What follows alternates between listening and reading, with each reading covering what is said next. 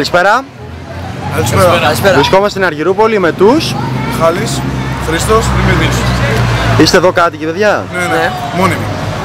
Πώς σας φαίνεται η Αργυρούπολη; Καταπληκτική. εξελισσόμενη πόλη. Εξελίσσεται. Τις καλύτερες περιοχές. καλύτερες. Εξελίσσεται συνεχόμενα να κάνει καινούργια μαγαζιά. Ε, Καλό κόσμο. φαίνει- καλό κόσμο. Φε- Έρχεται πιο πολύ συχνά κόσμος από ό,τι ήταν πιο παλιά. Πολύ νεολαία από διάφορες περιοχές. Κάποιο παράπονο που έχετε, κάτι που θα θέλατε να έχει αλλάξει από εδώ πέρα; Πεσοδρόμηση. Λίγο καλύτερη. Πεζοδρόμηση. Ξέρεις, για το περίπατο που στη Βόλτα, ξέρω. Ψήγλι, φάδα, στην Ιανού Μεταξά.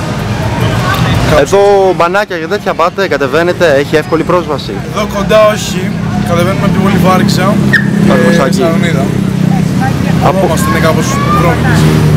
Δεν είναι, είναι πολύ καθαρές θάλασσες και εντάξει, η κοινωνία τώρα. Εντάξει, Περιορισμένη. υπάρχει- ε, είδαμε δηλαδή το πρωί περιμέναμε 140, περάσανε δύο μαζεμένα. Δύο συνεχόμενοι και δεν τα προλάβουμε κανένα από τα δύο. Ε, και έτσι μετά περιμένει, περιμένουμε 50 λεπτά για να πάρουμε το επόμενο 140. Δεν μπορούσαμε να το πούμε. Κατάλαβες. Γενικά εδώ πώς περνάει η ώρα σας Αργυρούπολη; Πώς είναι η Ωραία. μέρα, σκομπλέ. Καλά. Διαφέρω, ε. Πάμε καφετέριες να ράξεις. Και όχι μόνο σε μια μόνη καφετέρια, γενικά εντάξει.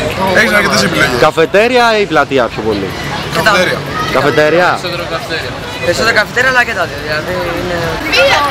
Να είστε καλά παιδιά, ευχαριστούμε. Ευχαριστούμε, Γεια σας.